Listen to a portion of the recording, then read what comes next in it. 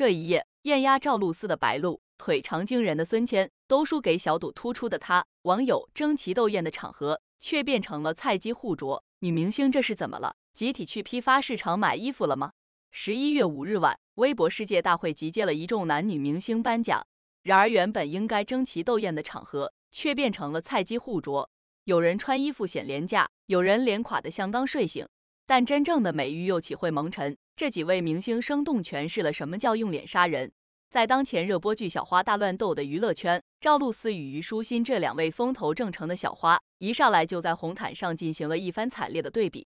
去年，赵露思凭借其不管盘发的造型还是粉嫩的妆容，都深得粉丝心意。她的甜美形象深入人心，她的每一次出场都能引起粉丝的尖叫和媒体的追逐。然而今年，瘦了许多的赵露思似乎有意要摆脱甜妹的印象，每次出现都要装作酷酷的模样，试图展现自己更多元的风格。她的转变让粉丝们既惊喜又好奇。这次走红毯，赵露思也是带来了自己的老三样：烟熏眼妆、裸色口红、贴头皮发型。这样的妆容在精修图下还能被吹捧为高级感十足，但在现场的红毯上，这脸却是真没气色，看起来像是刚出院的病人，缺乏往日的活力和光彩。更灾难的是，衣服的选择也没能加分。很多网友纷纷吐槽，他这是穿着泳衣就来了。或许是为了追求时尚感，但显然这次的尝试并没有得到大众的认可。在红毯这个没有硝烟的战场上，赵露思的这一战似乎并没有赢得预期的喝彩。相反，她的造型成为了网友讨论的焦点。有人惋惜她的转变，也有人期待她能够找到更适合自己的风格。无论如何，这场小花之间的较量，无疑为娱乐圈增添了不少话题。其实穿短裙可以拉高小个子的比例，在女明星中偏矮的赵露思是合适的，只能说思路没错，就是裙子上花里胡哨的图案不太适合她。相比于越穿越短的赵露思，越穿越长的虞书欣就有点显累赘了。先不说这高饱和度的粉紫色像乡村大舞台的配色，就是这个不长不短的拖尾像个小尾巴一样，也挺奇怪的。不知道是不是准备的匆忙，虞书欣连一件配饰都没戴，脖子、耳朵都是空空如也，给人头重脚轻的感觉。两人去年的作品在暑假对打，今年的作品在十一月对打，属实是相爱相杀了。这次两人走同一条红毯，谁的表现力更强？值得一提的是，与这两人一起被纳入四普行列的白鹿，状态却是最在线的。虽然已经三十岁，但她不管是精神状态还是外在形象，都犹如正值青春的少女。当天，她一身秋冬高级定制礼服惊艳亮相，在璀璨灯光下犹如孔雀公主。而到了内场，她则是又换上了一身温柔仙气的粉色刺绣纱裙，温婉美丽的样子让粉丝大饱眼福。惊喜的是，她的位置与赵露思挨着，两人还一起合拍了照片。你更看好谁？同样在近期上过作品的还有任敏。自拍里的她清冷倔强，侧面线条清晰的她也算是独特的气质美人。红毯上的她虽然没有那么惊艳，但高清镜头下的正脸还是能打的。在适当的妆造下，任敏确实让人眼前一亮。不过现场最纠结的应该是张晚意，因为她的两位女主角任敏与王楚然都来了，真不知该同哪一个走红毯。王楚然的青衣脸没话说，在一众小家碧玉的新晋女演员中，一向是被看好的。就是这毫无质感的大红裙子，着实拉低了她的档次，略显廉价。甚至大她二十三岁的刘敏涛都能穿着红裙压她一头。比起这几个流量小花，明显还是这几位更有范。在美组，要说当天谁美的最毫不费力，那周涛一定会被提名。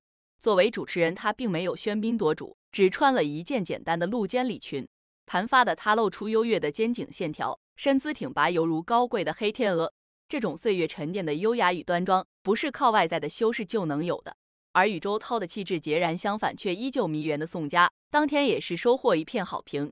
硬挺的黑色西装在她的演绎下别具风情，彰显着独立自信大女人的魅力。她与刘琳一起拿下影响力演员奖，应该是当晚最没有意义的奖项。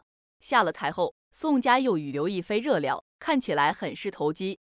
活动结束后，她还专门发了两人的合照到个人账号，脸贴脸的亲密度让人羡慕。然而刘亦菲当天的身材。却再一次被无情审判了。大粗胳膊与明显突出的肚子让一些网友不忍直视，怒批她没有一点女明星的自觉。这些年没少人说她虎背熊腰，笑起来的露牙花，仙气不在。但刘亦菲却似乎不为这种外界的声音裹挟，想怎么做就怎么做。或许不去讨好谁，坚持自我的美，才是她一直被大众喜欢的原因。这条绿的人发慌的礼裙，估计也只有刘亦菲能驾驭得住了。仔细看裙子，在小肚子那里专门缝了一道线，应该是两块布料拼接而成。由于拼接处衔接不自然，下方的布料在往外延伸，才给人一种小肚子很明显的感觉。实际上，从现场传出的生图来看，刘亦菲光彩照人，浑身散发着气血十足的健康自信美。这次《玫瑰的故事》剧组除了女主玫瑰，蓝盈莹与佟大为也悉数到场。佟大为手持黄玫瑰，依旧是那个为妹妹保驾护航的好哥哥。而蓝盈莹则是红唇红衣红指甲，像剧中一样活成了事业型女强人。红毯上的明星异常耀眼，但也有一些人的妆造有些奇奇怪怪。在这次时尚盛宴中，有一组艺人以另辟蹊径的风格吸引了众人的目光。他们不按常理出牌，以独特的装扮成为了话题的中心。你为什么要穿这么性感？当晚，王鹤棣简直就是网友的嘴替，直截了当的问出了大家最关心的问题。他的提问不仅是对向佐装扮的好奇，也是对这场时尚盛宴中大胆尝试的一种调侃。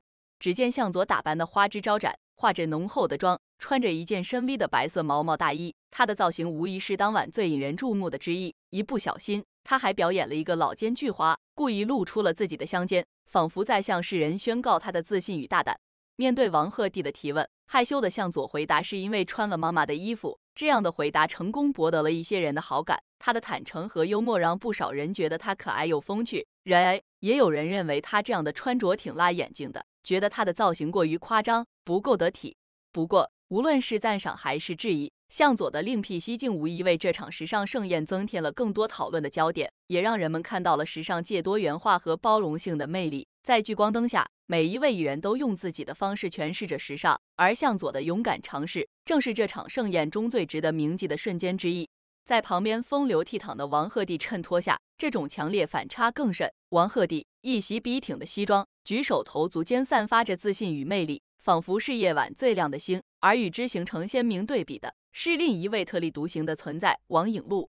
与向佐一样特立独行的还有王颖璐，她的装扮大胆而前卫。黑色西装搭配非主流的粉色头发，当真是截然不同的时尚宣言。然而，这样的搭配并未能完全赢得赞赏，因为假发没什么质感。她当天的脸看起来也挺疲惫的。在一众光芒四射的女明星中，她并不出众。